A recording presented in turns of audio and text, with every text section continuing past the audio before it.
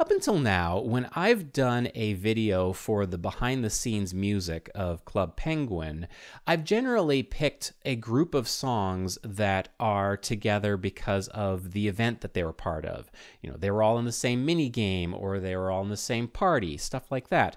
This video is a little bit different. It's three songs that are unrelated by how they appeared in Club Penguin, but are related by their theme and by their inspiration. See, when I'm doing contract music or just music in general for a client, I found that the most useful question I can ask is Is there a song that exists already that captures the mood, the action, the emotion that you want out of a completely new song?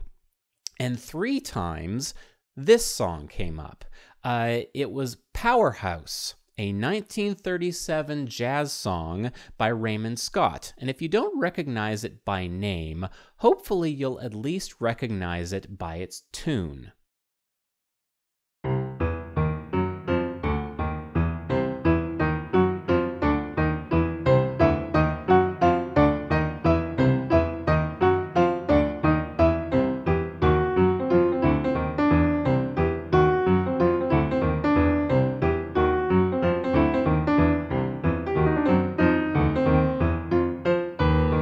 That sounded familiar, I'm glad because Powerhouse was a staple of Saturday morning cartoons of my childhood. Looney Tunes used it all over the place, but it also showed up in Animaniacs or Tom and Jerry. Uh, a large number of cartoons just loved using this. If there was a scene that had kind of an industrial feel to it, or some sort of weird Rube Goldberg device, this strange contraption that shouldn't work but does, Powerhouse or something inspired by Powerhouse seems to be what's powering it.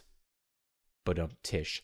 When the Club Penguin team approached me in 2010 and said, We have this recycling center room that has all these gizmos and gadgets and uh, things that turn trash into other things, and we want to use Powerhouse as an inspirational song for a new piece of music for that room, oh, I was like, all of my training has prepared me for this moment.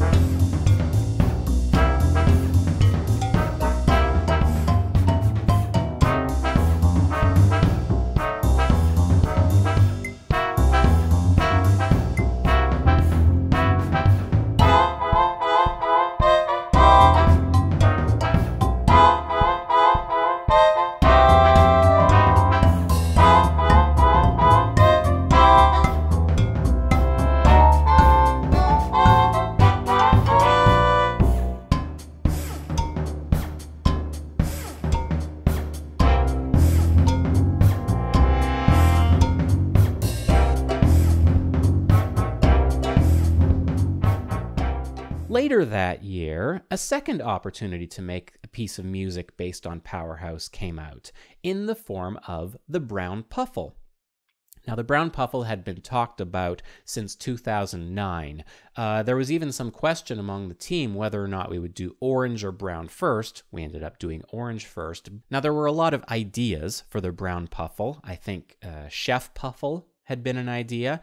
I personally was a fan of the idea of it being a construction puffle, brown being the color of dirt. It kind of made sense that it would be one to dig in the dirt a lot. Ultimately, this did not end up happening. The brown puffle, as you know, became an inventor puffle. And when the inventor brown puffle was discovered, it was discovered inside a lab. Uh, the Brown Puffles lab, and they wanted a song to go in there, and again wanted to be inspired by Powerhouse. So I went the direction this time of going less industrial, more tiny gadgety and cuter, and created this song.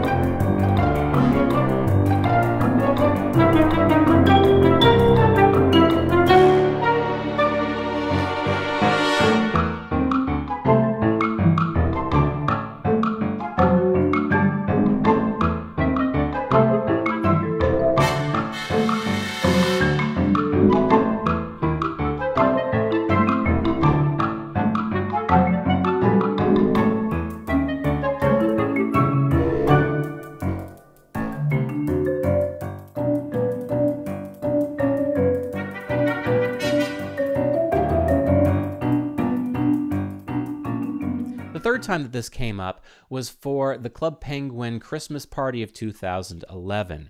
There was a member only room that was a bakery, and it was supposed to have this very hectic feel of cookies being made all over the place. This kind of Christmas craziness of we have to make all these cookies in time before the holidays come. And so, again, Powerhouse was referenced, and I made this song in hindsight, I think I would have made it not quite as hectic as it ended up being, but uh, overall, it, it worked as a song.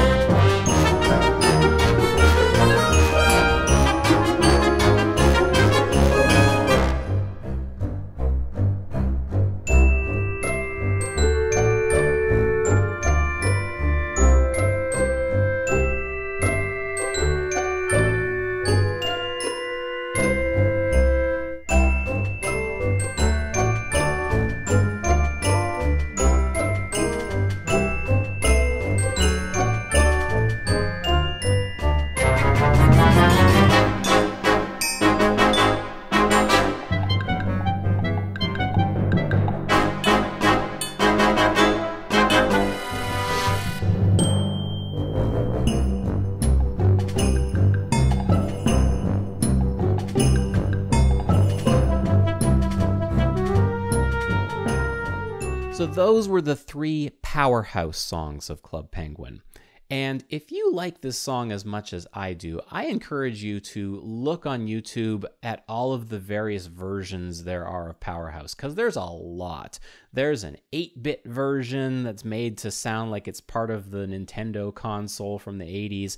There is uh, various versions that have shown up in other media. My favorite is a video from 1939 where Powerhouse is being played entirely with six harmonicas.